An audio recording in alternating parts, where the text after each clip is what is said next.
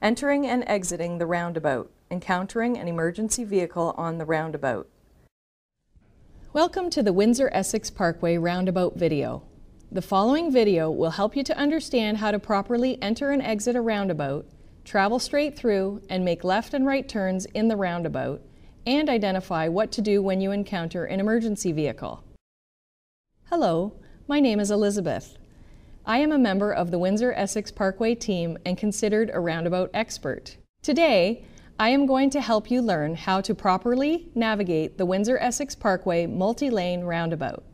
Listen closely and watch for my yellow car as I guide you through the proper navigation of the Parkway roundabout. Let's start off by labeling the key elements of the roundabout. Number one, this is the central island. Number two, truck apron. Number three, splitter island. Number four, yield lines.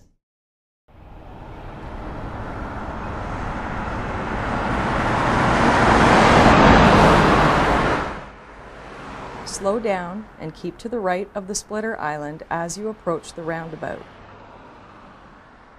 Depending on your intended destination, choose the left or right lane. Yielding at the roundabout entrance, wait for an adequate gap in circulating traffic to enter. When there is an adequate gap in circulating traffic, enter the roundabout.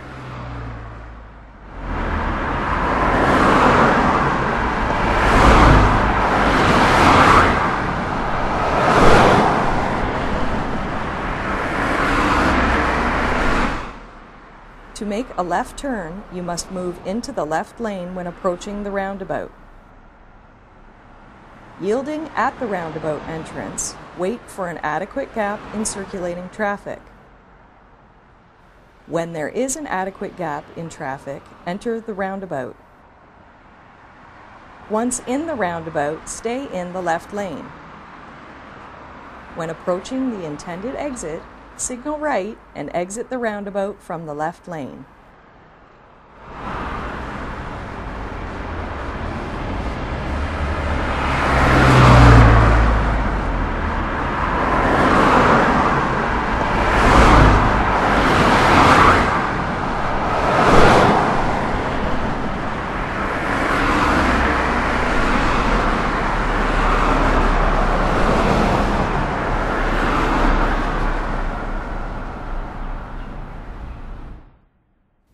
To make a right turn, you must move into the right lane when approaching the roundabout. Yielding at the roundabout entrance, you must wait for an adequate gap in circulating traffic. When there is an adequate gap in traffic, enter the roundabout. Once in the roundabout, stay in the right lane. When approaching the intended exit, signal right and exit the roundabout from the right lane.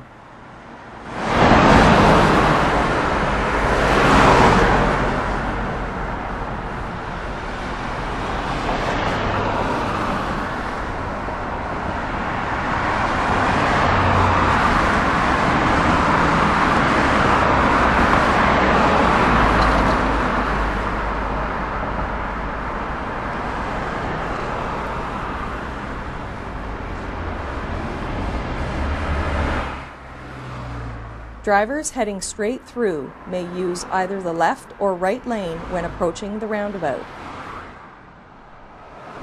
Yielding at the roundabout entrance, wait for an adequate gap in circulating traffic. When there is an adequate gap in traffic, enter the roundabout. Once in the roundabout, stay in your lane. When approaching the intended exit, Signal right and exit the roundabout while staying in your lane.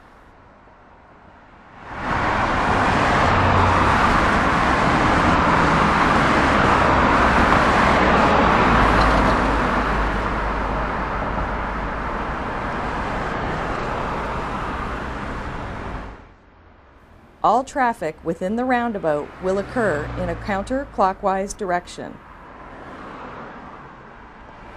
Larger vehicles, such as transports, may take up more than one lane while navigating the roundabout. Drivers should be mindful of this. Drivers should always indicate their intended exit with a right turn signal. If you miss your intended exit, circle the roundabout again until you reach your intended exit.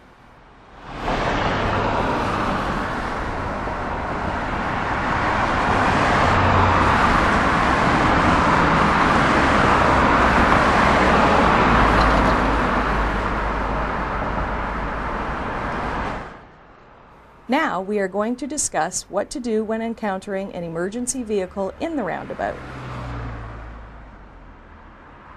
If you have not yet entered the roundabout, pull over to the right if safe to do so, allowing the emergency vehicle to pass and then enter the roundabout.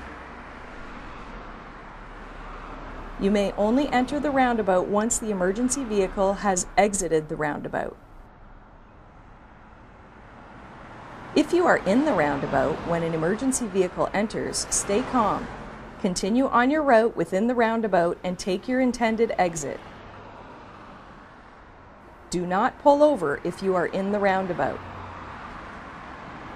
Once you have exited the roundabout and passed the splitter island, pull over to the right, allowing the emergency vehicle to then pass.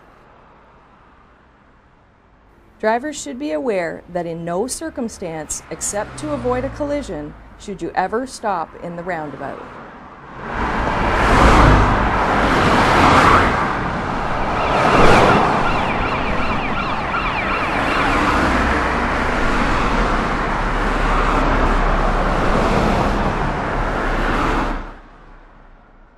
It was great showing you the Windsor Essex Parkway roundabout today. If you are looking for more information on roundabout safety and navigation, visit www.ontario.ca forward slash roundabout or www.weparkway.ca or follow us on Twitter.